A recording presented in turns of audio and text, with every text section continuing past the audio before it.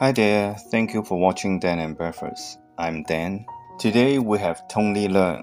Whether you are from Hong Kong or not, I'm sure most of the people already know who Tony Leung is, and uh, he is a very famous actor from Hong Kong. Recently, he is even more famous because he just got Lifetime Achievement Award from Venice Film Festival.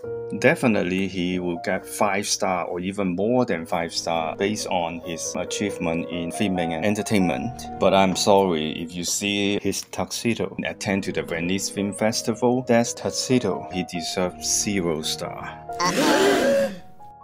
Tuxedo is actually the highest level of suit or outfit for men. Even though for a normal suit it should be fitted. If it's a little bit too big or a little bit too small, that's okay, but not for tuxedo look at Tony Leung. Definitely this tuxedo, I think he just bought it before he go to the event because it's way too big for him. It's not his size. See the sleeve is way too long for him. The, the length of the jacket is way too long as well. And I don't even want to go into his dress pants. As you can see, the pants is way too long.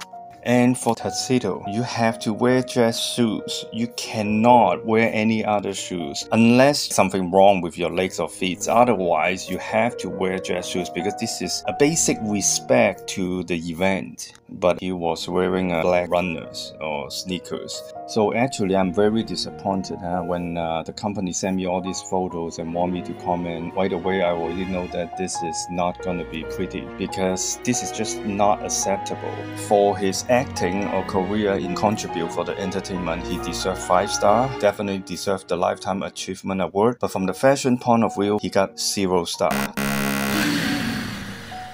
Thank you for watching. I'll see you next week.